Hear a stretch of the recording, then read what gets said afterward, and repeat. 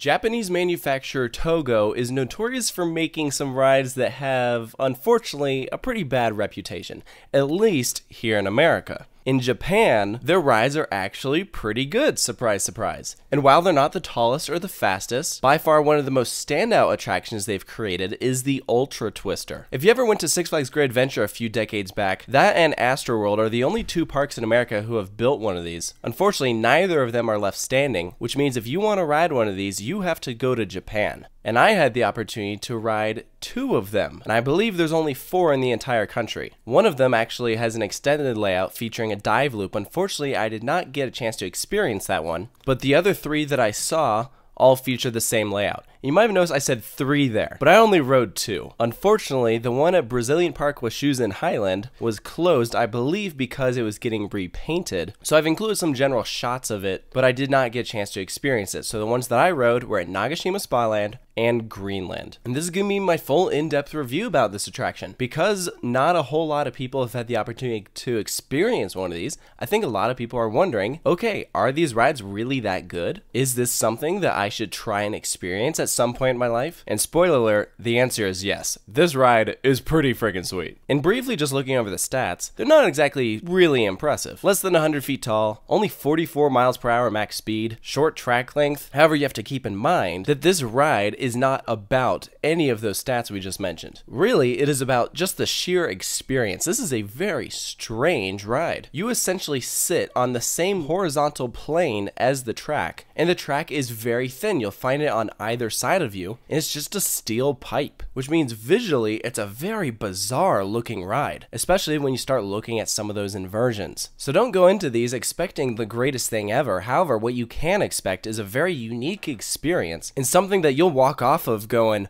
wow, I've never experienced anything like that before, and I think I liked it. This ride isn't earth shattering by any means, but it is absolutely memorable. And you'll quickly realize that from the moment you enter the station, you board this vehicle with the train facing backwards, and therefore you depart the station facing that same direction, and the vehicle locks in right at the base of the lift hill and rotates you 90 degrees facing the sky. I think that is a very memorable start to a ride and you haven't even done anything yet. So you ascend straight up, crest over the small little apex, and immediately face the ground. You're looking at an 85 degree descent, almost straight down. And it's a very quick transition going from looking straight up to now straight down. And before you know it, you're rapidly descending. Again, max speed is only 44 miles per hour, so it's not very fast, but that's okay. In my opinion, the true highlights of the ride come later. It's not the first drop. And I wouldn't even say it's the next element, which is an airtime hill. Although calling it an airtime hill might be a bit of a stretch. I wouldn't say this hill is really designed for airtime. Yeah, you might get a little bit,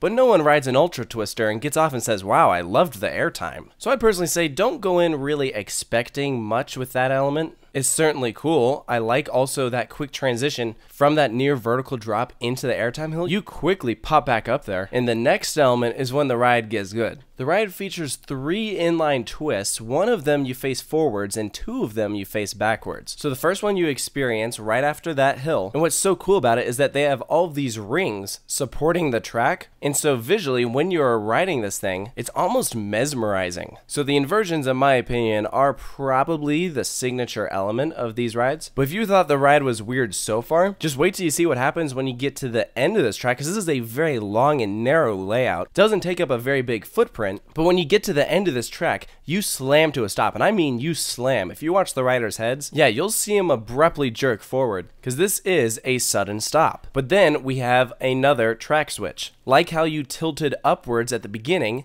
now you tilt downwards, but not fully. It's at an angle. But now, suddenly, you're facing backwards. The ride releases you, and you start building up some speed, again, not at a very steep angle, but then you experience two back to back inversions, each one of them facing the same direction. And then the ride is over. You hit the brake run, and then you're back in the station. Like I said, it is a weird ride. The first one I rode was at Nagashima Spa-Land, and I only got one ride on it because actually, shortly after I rode it, it was down for the rest of the day and it didn't reopen. So I'm glad I rode it when I did. And as I mentioned, the one at Brazilian Highland was closed. So the one I got the most rides in on on was the Ultra Twister at Greenland. Again, they're all the same layout. I got two rides on that one and the one at Nagashima. And each time I rode it, I rode in a different row. Again, because there's only three rows. I gotta say, front row is definitely the best. But going back to what I was talking about, when I first got off of it, I was like, wow, that was weird. I, I'm not sure what to think about it. I think I liked it, but then after I rode the one at Greenland and I knew what to expect, I could really enjoy it. And when I got off the second time, I said,